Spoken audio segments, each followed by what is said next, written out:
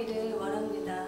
그러나 내성적인 성격이라 말빨이 안 서서 나를 어떻게 볼까 관계가 깨어지지는 않을까 수많은 염려로 두려워합니다. 저도 그 중에 한 사람이었습니다. 부담감을 안고 빌립 전도를 하게 되었습니다. 첫 번째 미션이 글없는 책으로 복음을 전하는 거였습니다.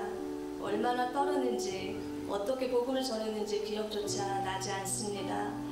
그런데 놀라운 건 나의 떨리는 목소리로 더듬거리며 복음을 전했는데 그것을 듣고 영접 기도까지 하는 거였습니다.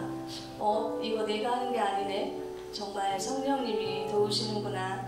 나중에 조언들을 통해 들은 바로는 제가 계속해서 예수님이 십자가에서 3일 만에 돌아가셨다고 말했다고, 말했다고 하더라고요. 신앙생활 20여 년이 다 되어가는데 복음 하나 제대로 전하지 못하는 내가 창피하고 속상했습니다.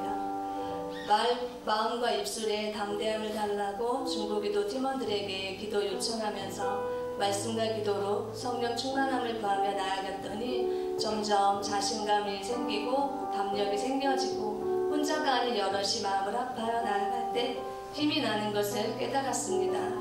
또 하나님께서 전도를 얼마나 기뻐하시는지 나가서 찾아다니면 반드시 준비된 영혼을 만나게 해주심을 경험했습니다. 전도를 하면서 지난 신앙생활을 뒤돌아보게 되면서 정작 하나님의 마음과 뜻을 아는 데는 눈을 감고 있었음을 깨닫게 되었습니다. 잃어버린 영혼 돌아올 때 예수님 기뻐 춤추시리. 전도는 예수님의 마음을 아는 거였습니다. 그리고 예수님을 사랑하는 표현이었습니다. 전도는 해도 되고 안 해도 되는 선택이 아니라 의무임을 깨닫게 되었습니다. 전도를 해보니 계속해서 나의 입술로 복음을 선포하니까 믿음이 더욱 생기게 되고 영어를 사랑하는 마음이 생겼습니다. 또 이루 말할 수 없는 기쁨이 샘솟아서 잘 때조차도 입가에 미소가 떠올립니다. 전도는 내가 하는 것이 아니고 하나님께서 붙여주시고 그 영혼의 마음을 만져주시면 나는 기도하고 가서 섬기며 모시고 나오면 되는 거였습니다. 때를 얻든지 못 얻든지 우린 계속해서 복음의 씨앗을 뿌리면 되는 겁니다.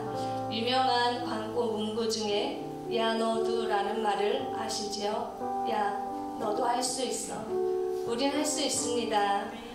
여러분 우리 같이 전도합시다. 감사합니다.